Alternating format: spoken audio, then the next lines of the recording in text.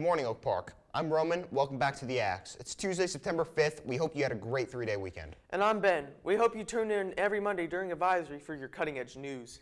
Wednesday, September 6th is Read a Book Day. Practice those reading skills. Check out a book from our amazing library on Wednesday and get a sweet treat. Do you love science and want to join an award winning team? The first Science Olympiad meeting will be after school Wednesday, September 6th in Mr. Gould's W204 room. The North Star Bowling team starts on Thursday, at main event. This would be a great opportunity for A plus tutoring hours. Talk to Coach B for more information. And don't forget yearbooks for this, this school year are on sale right now through My Payments Plus. That's right, you can buy your yearbook in the same place you add money to your lunch account or purchase other school related items. As you head out to varsity games and other school events this year, remember, tickets are cashless this year.